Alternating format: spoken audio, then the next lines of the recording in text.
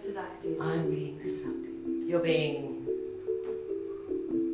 I'm being. yes. Trying to be believable isn't going to help you. Yeah, I want you to be true. Truth happens in the actor, believability happens out here. And it will always be jarring out here if what we're seeing up here doesn't ring true. Hopefully, the work has honed you enough so that you know when it's happening up there as well. As we've discovered in module one, it's like I can't actually switch off what's happening in your head. Yeah, I can disconnect you from worrying about it all the time and put your attention on your partner so that your work is stronger. But there's always going to be something in your head that will get in your way, and this work will help you move through that. But you can never get rid of it. But we can help you disconnect it so that you can work.